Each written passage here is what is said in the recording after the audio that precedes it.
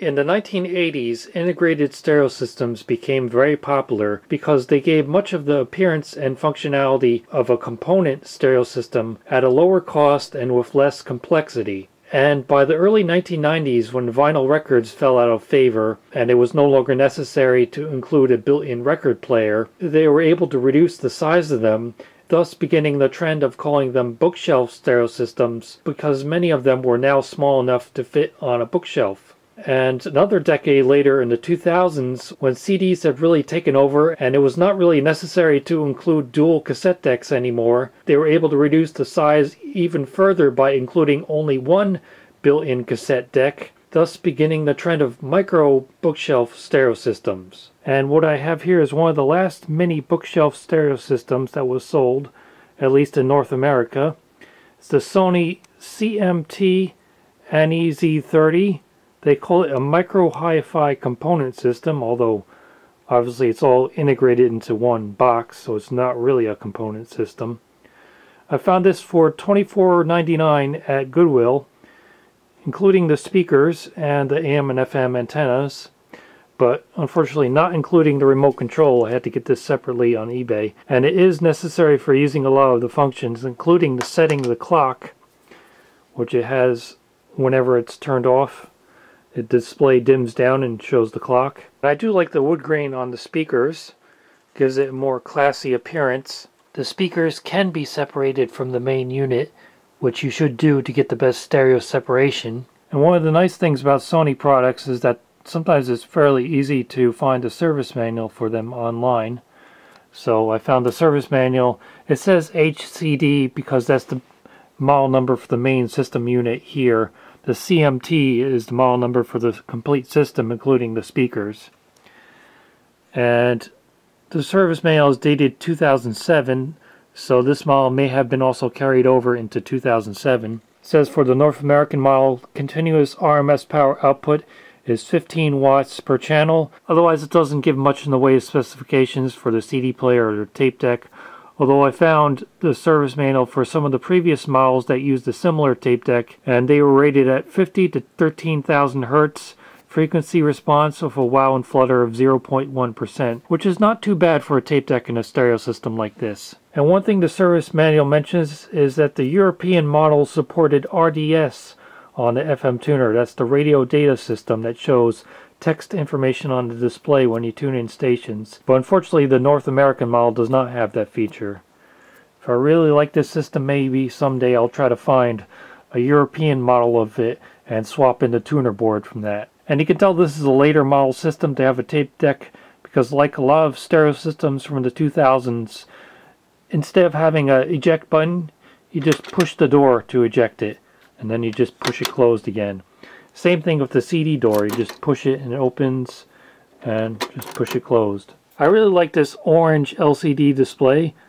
Very uh, understated appearance compared to the, some of the crazy multicolor displays that stereo systems from this time were using.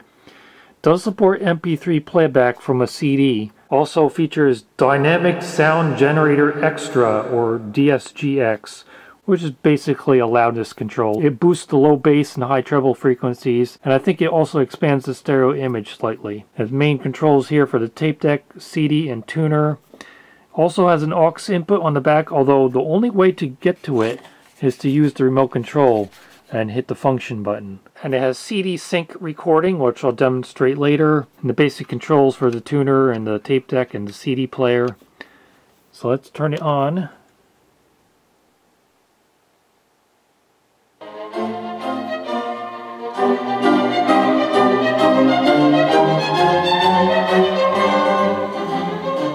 I don't know if it's going to really come across that well through the microphone of the camera, but the DSGX function does improve the sound quality of the speakers a little bit.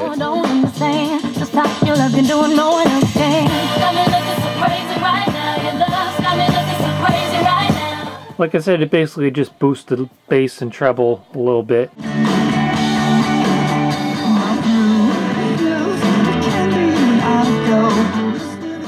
So probably when listening through speakers, I would leave it on most of the time, although with good quality headphones, I would turn it off. It's not necessary for that. It, it becomes a months long process. nuts. If they say unanimously, no, you were wrong about that song, this is our song, we included in our map of what's going on, stop trying to draw the map.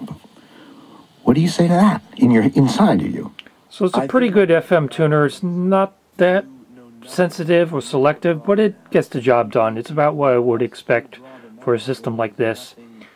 On AM, I was actually rather surprised.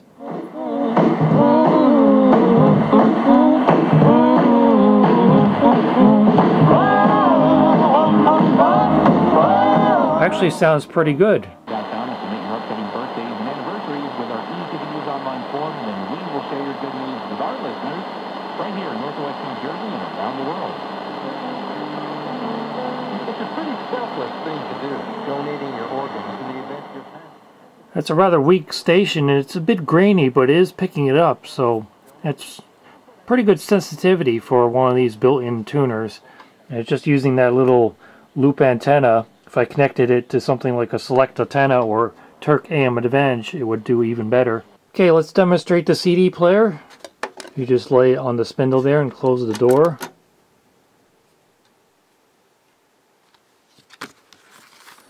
This is the Chris Morrissey Band from New Jersey. It's a local group. Made in New Jersey. I don't know if the actual CD was, but at least the music was. Let's hit play.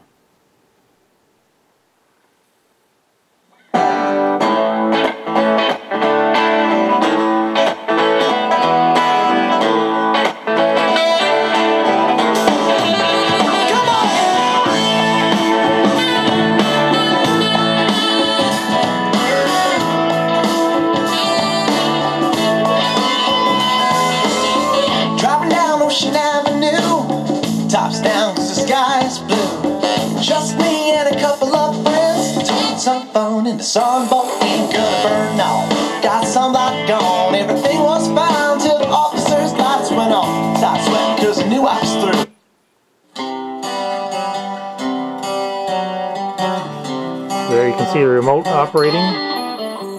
So one of the things you get on the remote is the equalization. You get bass and treble, but they only go up to plus or minus 3, so it's not that much of a range.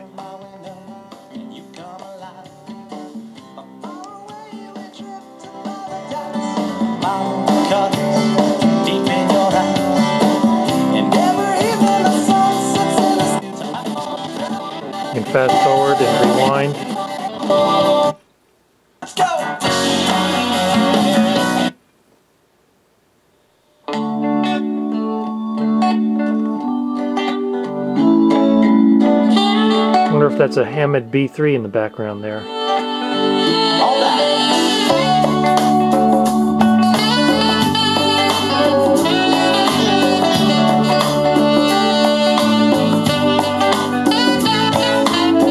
In the morning I wake up happy Just cause I have you near me And when I see you smile It just sends a chill right Here's more local New Jersey music. Al Parks Orchestra, Figure Dances from 2005.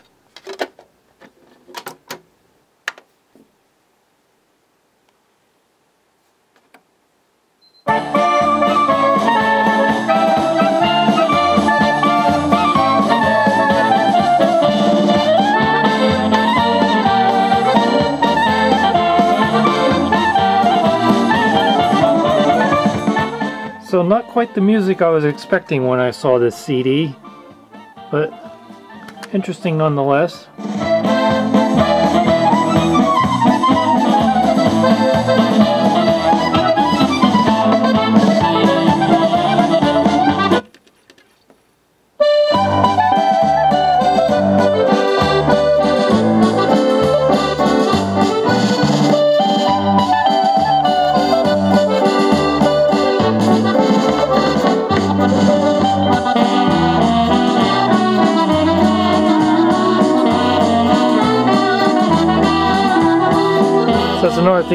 Do with the remote is change the display to show the remaining time of the track, the remaining time on the CD, and the clock, and then switch it back to normal.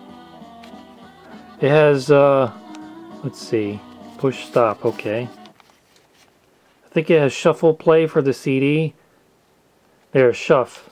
So let me hit play, and you'll see it pretending it's making that calculation, taking that long to do it, when it could really just use a random number generator and do it instantly instead of making that display, but whatever. Now for the tape deck, and it looks like it has a window in the door, but I discovered it's pretty much useless. That actually is a clear piece of plastic, but you can't really see anything through it. There's also one for the CD player, and if you look directly through it, you can see the CD spinning. But for this, it's mostly blocked by the piece of plastic in the door, so it's not really useful for anything. But if you look in here, first of all, that pinch roller looks immaculate, so I don't think this tape deck was used by the original owner that much, if at all. And this definitely does not look like your typical cheap Tanashin mechanism. So look at that head. It has the erase head integrated right next to the record playback head rather than being separate. Clearly it might have shared parts of previous Sony decks that were higher quality than this. And it is a full logic mechanism. So I think this is actually a rather good tape deck. Let's try some retro grooves on this tape deck.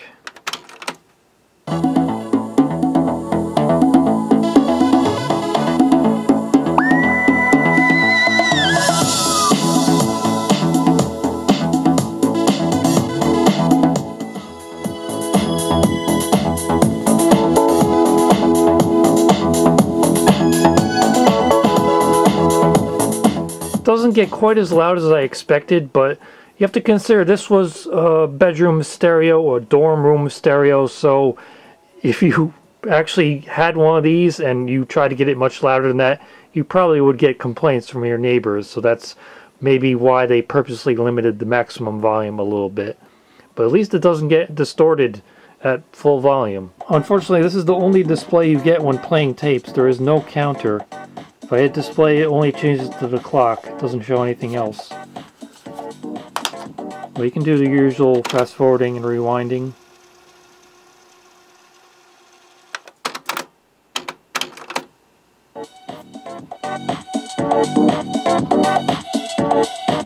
One of the features of this stereo system that I really like is the CD Synchro recording. There's a button for it on the front panel here. And what that does is makes it easy to make a copy of a CD onto a cassette tape. So I'll put in this CD here.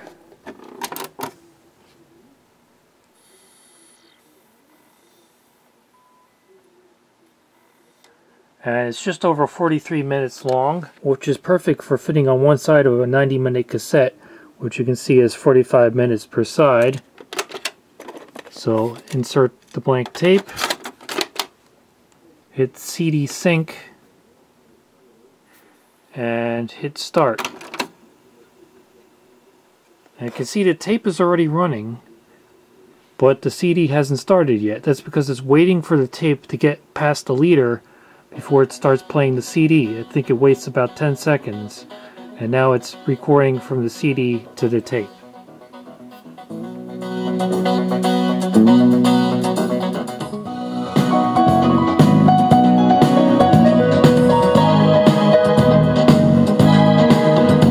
Just heard the CD playback, now here's the tape copy.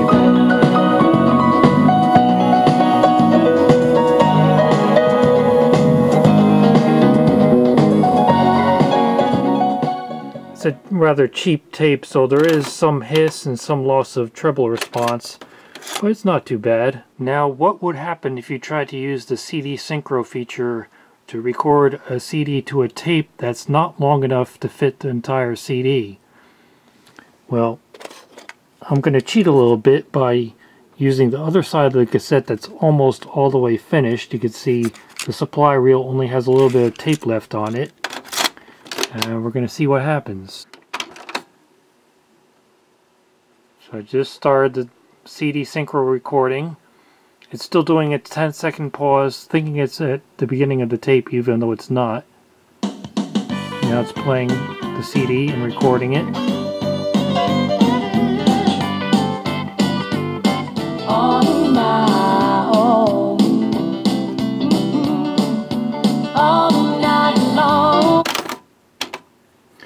I just reached the end of the tape and it's saying tape turn.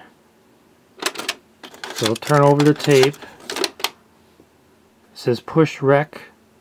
So here we go.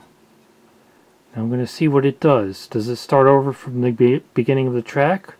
Or does it pick up where it left off? Okay, it starts over from the beginning of the track. So what that means is the first side of the tape will have an incomplete recording of one of the tracks on the CD when it gets to the end of that side. And when you flip it over and play the B side of the tape, it'll start that track over from the beginning again. Ideally, you would be able to program in the length of the tape when you start your recording and then when it gets close to the end of the side of the tape it would know it would not be able to fit the next track of the CD onto the tape and then it would prompt you to flip it over and then it would start recording that track on the next side. But this one is not that fancy. Like I said this was made at the tail end of including a cassette deck at all in these systems. So it's nice it has at least this much of functionality in it even if it's not as advanced as it could be.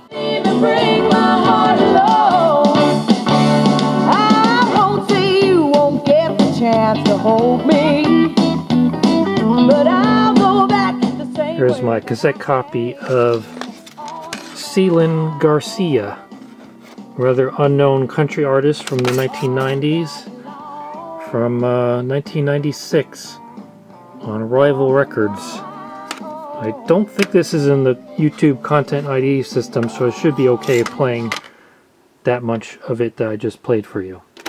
As for the aux input on the back, the only way to get to it is using the remote. You hit the function button to cycle through the different functions until you get to audio in, and then you can plug in your iPod or whatever and use it to play music.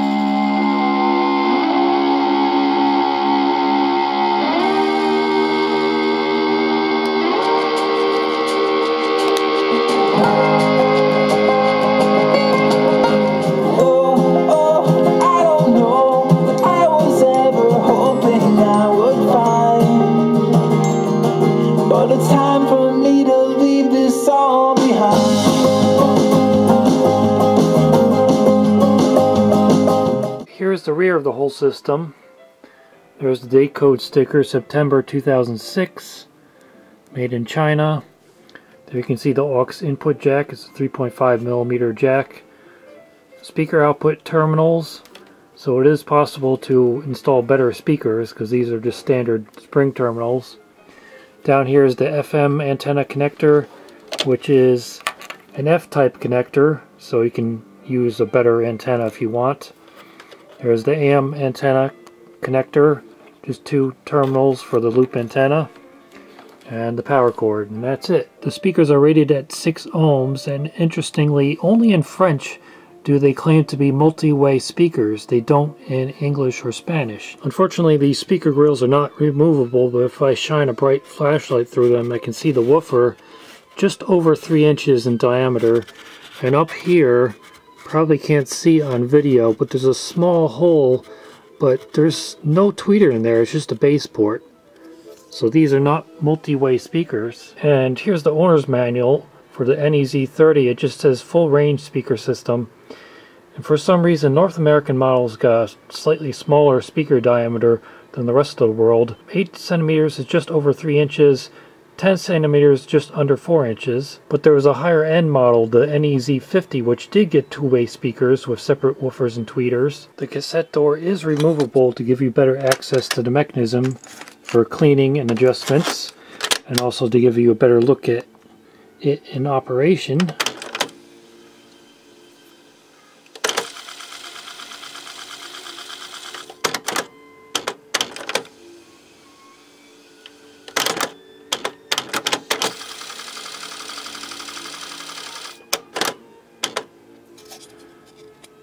And you can see this window is see-through, just barely, but like I said, it doesn't really give you a look at anything with the way it's positioned. It would actually make more sense if it was upside down, then it would actually kind of almost give you a look at the tape in there. And here's how to change the channel spacing in the AM tuner. You have it turned on in AM mode and you turn it off. And now when holding the tuner band button down here, you turn it back on and it says 9 kilohertz step and now it's in 9 kilohertz spacing as I go through the channels there. And if you want to switch it back to 10 kilohertz, you just do the same thing. You turn it off, you hold the tuner band button and turn it back on. It switches back to 10 kilohertz steps. Here's an album that's not yet available on CD. You can get it as a digital download, as a vinyl record, as a cassette tape, or even as a mini disc, but as of when I'm making this video, there is no actual CD release of this album, so I made my own.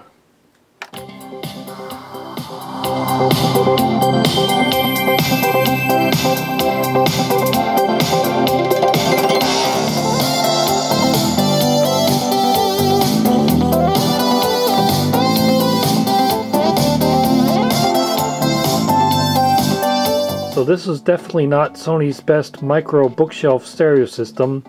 They even had a couple models of a built-in mini disc recorder, and I'd love to get one of those, but I'm happy with this one. It's nice and simple, it works pretty well in all its functions, and I like the understated styling compared to some of these bookshelf stereo systems which had really over-the-top styling in the 2000s. This one is nice and understated in its appearance. It wouldn't look out of place in a professional office somewhere wouldn't draw too much attention to itself. So that's the Sony CMT NEZ30 from 2006, their last model of micro bookshelf stereo system for North America.